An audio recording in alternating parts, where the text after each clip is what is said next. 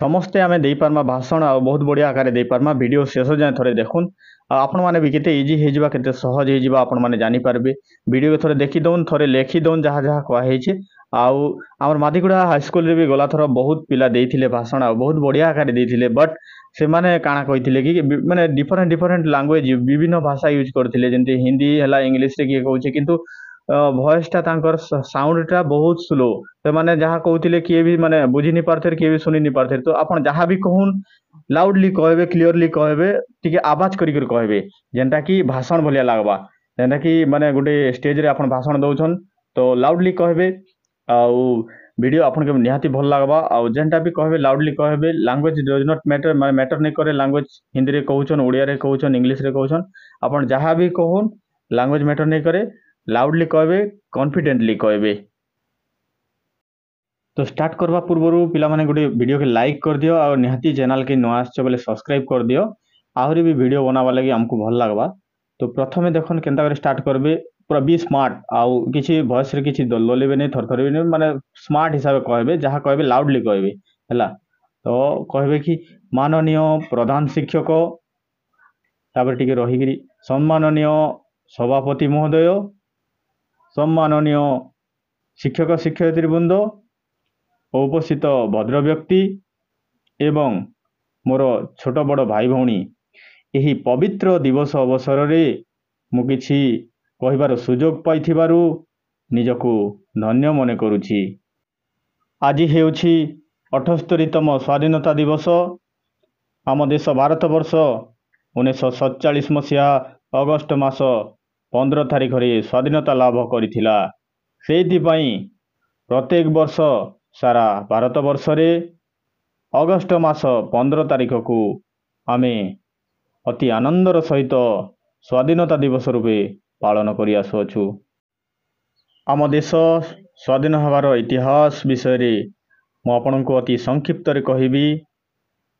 ପଞ୍ଜାବ ସିନ୍ଧୁ ଗୁଜୁରାଟ ମରାଠା ଦ୍ରାବିଡ଼ ଉତ୍କଳ ବଙ୍ଗ ବିନ୍ଧ୍ୟ ହିମାଚଳ ଯମୁନା ଗଙ୍ଗା ଉଚ୍ଚଳ ଜଳବିତ ଅଙ୍ଗ ଭାରତବର୍ଷକୁ ସେତେବେଳେ ସୋନେକି ଚିଡ଼ିଆ ବୋଲି କୁହାଯାଉଥିଲା ସେଇଥିପାଇଁ ୟୁରୋପୀୟ ଦେଶମାନଙ୍କ ନଜର ସବୁବେଳେ ଆମ ଭାରତବର୍ଷ ଉପରେ ଲାଗି ରହିଥାଏ ଇଂରେଜମାନେ ଆମ ଭାରତବର୍ଷକୁ ବାଣିଜ୍ୟ ଉଦ୍ଦେଶ୍ୟରେ ଆସିଥିଲେ ସତ କିନ୍ତୁ ପରେ ପରେ ଭାରତବର୍ଷର ଶାସନ ଭାର ନିଜ ହାତ ମୁଠାକୁ ନେଇଯାଇଥିଲେ।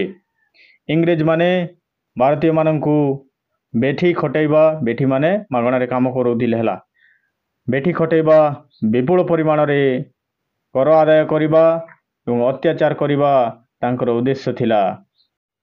ସର୍ବପ୍ରଥମେ ଭାରତୀୟ ସିପାହୀମାନେ ଅଠରଶହ ସତାବନ ମସିହାରେ ଇଂରେଜମାନଙ୍କ ବିରୁଦ୍ଧରେ ସ୍ୱର ଉତ୍ତୋଳନ କରିଥିଲେ ଏବଂ ଏହା ଥିଲା ଦେଶର ସର୍ବପ୍ରଥମ ଇଂରେଜ ସରକାରଙ୍କ ବିରୁଦ୍ଧରେ ବିଦ୍ରୋହ ଯାହା ସିପାହୀ ବିଦ୍ରୋହ ନାମରେ ପରିଚିତ।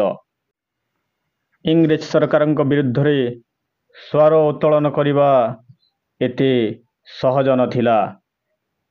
ଏହି ସ୍ୱାଧୀନତା ସଂଗ୍ରାମରେ କେତେ ଯେ ବୀର ଶହୀଦ ହୋଇଯାଇଛନ୍ତି ସେମାନଙ୍କ ମଧ୍ୟରୁ ଶହୀଦ ଲକ୍ଷ୍ମଣ ନାୟକ ସୁଭାଷ ଚନ୍ଦ୍ର ବୋଷ ଭଗତ ସିଂ ଜୟରାଜ ଗୁରୁ ବାଜି ରାଉତ ଝାନ୍ସୀ ରାଣୀ ଲକ୍ଷ୍ମୀବାଇ ଆହୁରି ଅନେକ ବୀର ନିଜର ମାତୃଭୂମିର ସ୍ୱାଧୀନତା ପାଇଁ ହସି ହସି ନିଜ ପ୍ରାଣର ଆହୁତି ପ୍ରଦାନ କରିଥିଲେ।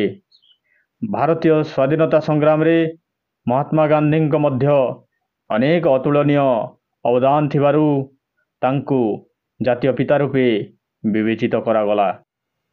ତାଙ୍କ ଦ୍ୱାରା କରାଯାଇଥିବା ଆନ୍ଦୋଳନ ଗୁଡ଼ିକ ମଧ୍ୟରୁ ଅସହଯୋଗ ଆନ୍ଦୋଳନ ଆଇନ ଅମାନ୍ୟ ଆନ୍ଦୋଳନ ଓ ଭାରତ ଛାଡ଼ ଆନ୍ଦୋଳନ ଗୁରୁତ୍ୱପୂର୍ଣ୍ଣ ଭୂମିକା ଗ୍ରହଣ କରିଥିଲା ମନେ ପଡ଼େ ଆଜି ଜାତୀୟ କବି ବୀର କିଶୋରଙ୍କର କିଛି ଲେଖା ସ୍ୱାଧୀନତା ସମୟର ସେହି ସ୍ୱାଧୀନତା ସଂଗ୍ରାମ ସମୟର ସେହି ଗାଥାଟି ଆପଣଙ୍କୁ କହୁଛି ପାଟି କଲେ ହେଲା ବେତ ପାହାର ଗୁଳିରେ ଫାଟିଲା ମଥା କାହାର ଶହ ଶହ ସୈନ୍ୟ ହତାଶହୀନ ହସି ହସି କଲେ କାରାବରଣ ଗୋରା ବେପାରୀର ଗୁଳି ବନ୍ଧୁକ ତାଠାରୁ ସତତ କବିର ଡାକ। ସେତେବେଳେ ଜାତୀୟ କବି ବୀର କିଶୋରଙ୍କର ମଧ୍ୟ ସ୍ୱାଧୀନତା ସଂଗ୍ରାମରେ ଅଧିକ ତାଙ୍କର ଅତୁଳନୀୟ ଅବଦାନ ରହିଥିଲା। ଆଜିର ଏହି ପବିତ୍ରତମ ସ୍ୱାଧୀନତା ଦିବସରେ ଆମର ମହାପୁରୁଷମାନଙ୍କ ବଳିଦାନକୁ ମନେ ପକାଇ ସମସ୍ତ ଭାରତବାସୀ ଏକତା ସୂତ୍ରରେ ସମର୍ପିତ ହେବା ଏବଂ ଆମ ଦେଶର ସ୍ୱତନ୍ତ୍ରତା ଓ ଅଖଣ୍ଡତାକୁ ବଜାୟ ରଖିବା ମୁଁ ଏତିକି କହି ମୋର ବକ୍ତବ୍ୟ ଶେଷ କରୁଛି ଜୟ ହିନ୍ଦ ତମମାନକେ ଏତିକି ଖାଲି କହିବାର ଅଛି ଆଉ ବହୁତ ବଢ଼ିଆ ଆକାରରେ କହିବ ଆଉ ଭିଡ଼ିଓ ଭଲ ଲାଗିଛି ବୋଲି ନିହାତି ଲାଇକ୍ କରୁନ୍ ଆଉ ଚ୍ୟାନେଲ୍କେ ଟିକେ ସବସ୍କ୍ରାଇବ୍ କରିଦେଉନ୍ ଆଉ ଦରକାର ପଡ଼ିଲେ ସାଙ୍ଗମାନଙ୍କ ପାଖେ ସେୟାର କରିଦେଉନ୍ ଜୟ ହିନ୍ଦ ବନ୍ଦେ ମାତରମ୍